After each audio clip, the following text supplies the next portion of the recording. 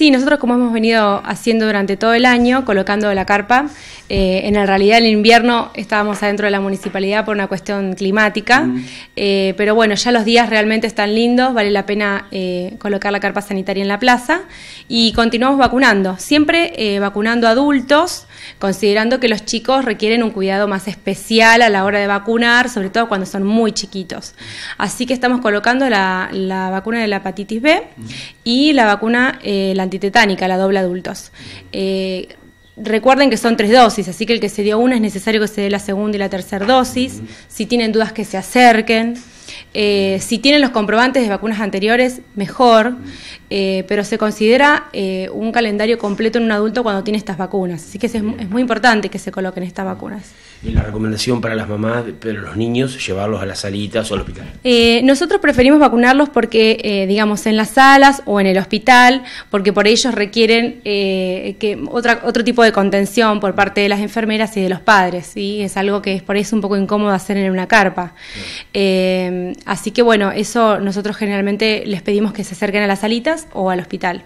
En cuanto a la carpa, eh, con esta campaña para adultos, como nos está eh, eh, diciendo, ¿hasta cuándo va a continuar? ¿Qué tiene nosotros vamos a estar, bueno, estamos desde hoy, mañana jueves y el viernes, estamos a partir de las 9 de la mañana hasta la 1 de la tarde. así que bueno, los esperamos que se acerquen. ¿Tienen pensado el próximo año ya diagramado cómo si van a continuar con la campaña? Sí, eh, la verdad que nos gusta mucho hacer actividades eh, acercándonos más a la gente, actividades al aire libre, por ahí en los barrios. Eh, vamos a seguir colocando la carpa. En enero arrancamos el año colocando la carpa, una semana completa como lo hemos hecho este año. así que sí, vamos a seguir colocando durante el 2015 la carpa en la, en la plaza para que todos puedan asistir. y bueno, siempre mm, digamos, pensando también eh, en que uno cuando hace un balance del año es un, año muy positivo con respecto a lo que es salud y demás. Hay muchas, muchas cosas que uno eh, evalúa con respecto a las actividades, pero en, en sí lo que es salud eh, son por ahí evaluaciones que se tienen que hacer a largo plazo, porque los cambios no se ven inmediatamente, pero sí vemos que la gente va tomando conciencia acerca de, los buenos hábitos, de la importancia de la vacunación, de la buena alimentación, del ejercicio físico, y eso está muy bueno, ¿no?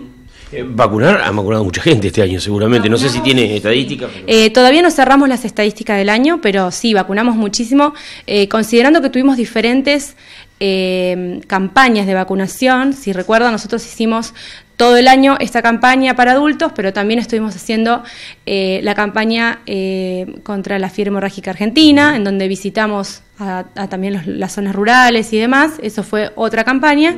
Y la campaña también eh, que acaba de finalizar para los niños de 1 a 4 años, que era la, doble, la doble viral, y la Sabin, que bueno, también fue otra campaña. Tenemos todavía que hacer el cierre eh, el conteo, digamos, eh, que va más allá de las estadísticas, va también, eh, digamos, habla de, de cómo está bien vacunada nuestra población.